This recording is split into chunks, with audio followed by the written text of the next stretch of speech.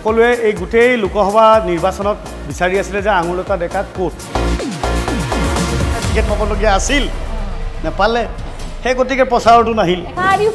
Major ঠেকা ক'ৰ পৰা খাইছে? মানে চবে ঠগিছে আপোনাক। মানুহে কয় যে পাহাৰলৈ উঠি যাওঁতে শৃংগলৈ যোৱাটো খুব কঠিন।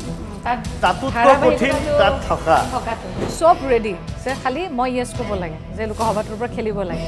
আমাকতো জানে মহিলাবিলাকক প্ৰথম এটা বস্তুতেই এটা জেগাতেই প্ৰথম ধৰে সেইটো হৈছে আপোনাৰ চৰিত্ৰ। মুখ্যমন্ত্ৰী ডক্টৰ হিমন্ত বিশ্ব শৰ্মা ডাঙৰীয়া দেৱক মই তেখেতক বহুত ৰিকুৱেষ্ট কৰিছিলোঁ। মই আপোনালোকৰ কাম শিকিব বিচাৰোঁ। তেতিয়া মানে তেওঁ কৈছে যে আঙুৰ তই বুলি নহয় মোৰ পৰা তই আৰু যদি কোনোবা শিকিবলৈ আহে বাহিৰত থাকি পেলাই শিক যি। মোৰ গাড়ীত উঠিব নোৱাৰোঁ।